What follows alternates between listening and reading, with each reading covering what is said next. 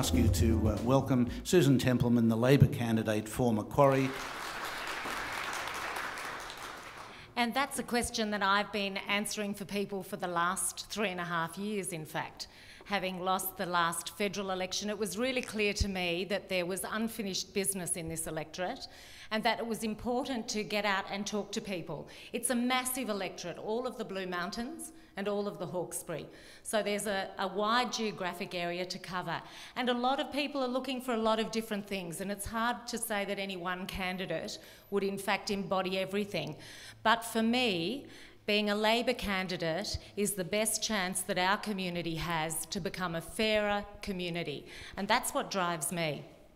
I joined the Labor Party in my 30s, uh, that, about 15 years ago. And, you know, I grew up with the Fraser Whitlam years through my teens.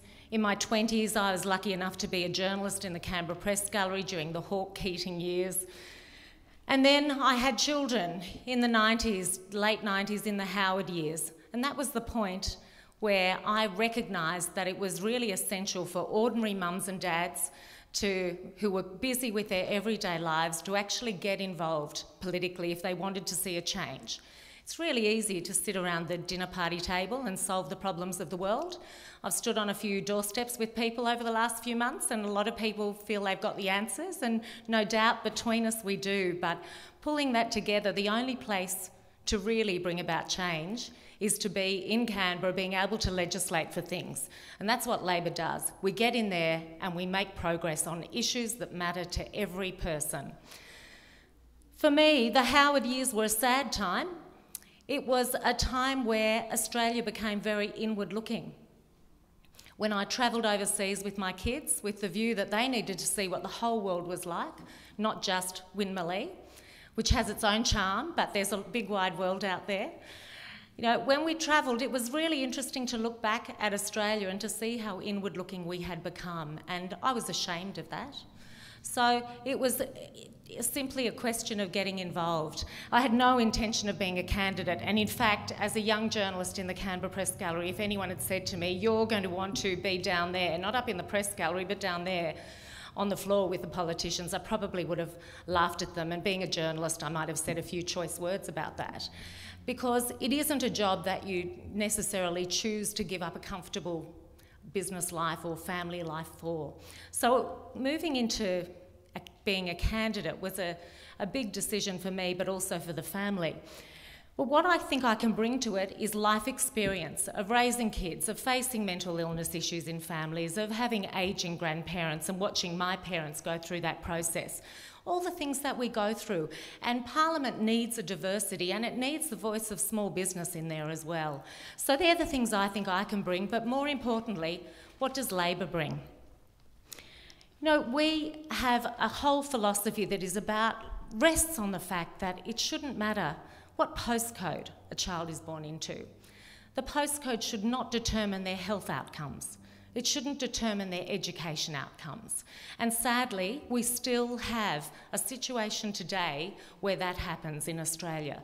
This is Australia, which is one of the most civilised and one of the richest countries in the world, yet we still have the haves and the have nots. So, the reason Labor can make a difference and why people should vote for me as the Labor candidate are that the number one thing we'll do is build schools of the future. You know, you have an opposition who thinks there's nothing wrong with the current system, who are dragged kicking and screaming, to provide a little bit more funding. You've got a state Liberal government that quite happily cut 1.7 billion from funding in education. But now we have a future that looks so much healthier for education, and we'll be talking more about that as the debate continues. Education for me is one of the fundamental things that changes and transforms the lives of families, particularly kids who are born into families who don't already have everything. We're also looking at building and in the process of building world class infrastructure. That's the National Broadband Network. Mountains people have already embraced it long before it's even got here. And it's tremendous that the from Lapton to, Lapstone to Linden is on the rollout plan between now and July 2016. You know, we deserve to have world class technology in the Blue Mountains from here to Mount Victoria and across the rest of the electorate. It's already switched on in Richmond and Windsor, and I had the privilege of doing that on Friday. You know, it will look back at the conversations that people are having about different technologies and we'll recognise very, in a very short space of time that fibre and fibre optics is as essential as water and electricity to the way we live our lives. We also, under Labor, will be growing the jobs of the future.